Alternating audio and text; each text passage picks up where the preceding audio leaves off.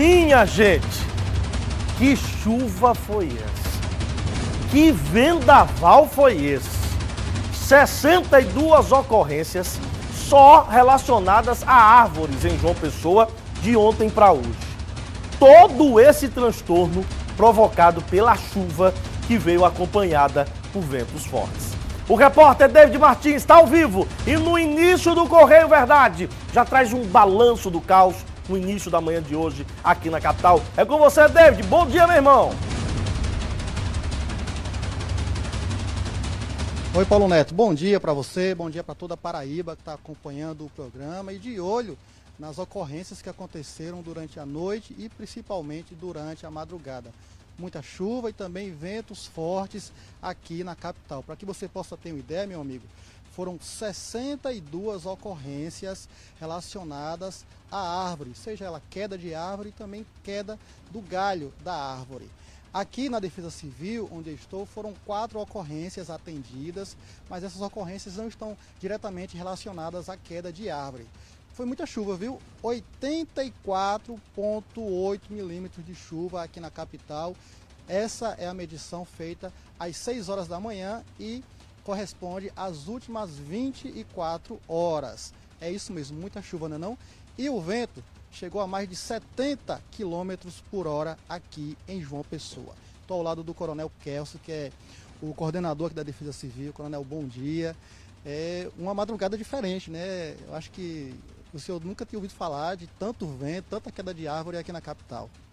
Bom dia, David. Bom dia, Paulo Neto. Bom dia a todos que nos assistem. É, de fato, uma noite madrugada típica, né? mas é, a defesa atenta, solícita, pronta para socorrer, para apoiar, para assistir as pessoas que eventualmente estivessem vitimadas pelos transtornos causados, tanto pela chuva quanto pelo vento, né? e procurando fazer cumprir com as nossas obrigações, deveres.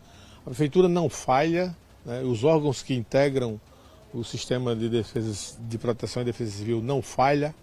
Ah, estivemos todos unidos, eh, integrados SEDURB, ENLU, CEINFRA, CEMOB, CEMAN, de modo que é, não faltasse o mínimo possível ao cidadão e ao seu bem-estar. Muito bem, o maior número de chamados relacionados à queda de árvores, que muitos deles chegaram para vocês, mas aí vocês acabam distribuindo porque não é a competência da Defesa Civil é, para as secretarias responsáveis. Aqui quatro ocorrências atendidas por vocês. Quais foram os tipos? Mais de alagamento, né? Alagamento, pouco, pequenos alagamentos e rachaduras e fissuras apresentadas em algumas moradias, prontamente atendidas pelas equipes que estavam nas ruas é, nada de grave, não houve nenhuma necessidade de interdição né, desses imóveis, não houve necessidade de realocação de famílias ou pessoas. As comunidades ribeirinhas, felizmente, tranquilas, né, não, não temos registro de transbordamento de nenhum dos rios que corta a cidade.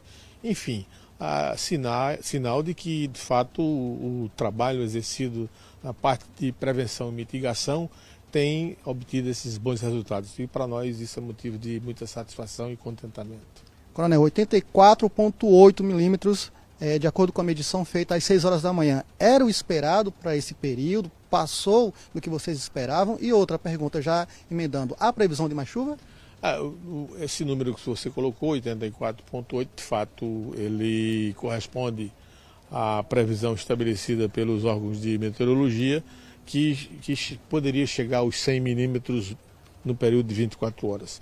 O INMET emitiu um novo alerta, desta feita válido de hoje às 10 horas e 1 minuto até amanhã, dia 17 às 10 horas, dando conta de que poderá acontecer chuvas aí na, na casa de 20, 30 milímetros hora ou até 50 milímetros dia, com ventos que variarão de 40 a 60 quilômetros durante esse período. De modo que nós estamos atentos, vamos continuar monitorando as áreas de risco existentes na capital, principalmente os taludes e as comunidades ribeirinhas, para, como eu te falei, é, evitar que acidentes ocorram. Nós estamos há 1.142 dias sem vítimas fatais em função de desastres naturais. Muito bem, obrigado, Coronel, pelas informações, obrigado. É isso, a imagem aqui do meu querido Jurandir mostra que é, temos nuvens carregadas ainda aqui em João Pessoa, previsão de mais chuva aqui na cidade. Então, se você precisar do atendimento da Defesa Civil, então prepare o papel, a caneta, o celular, anota o número aí.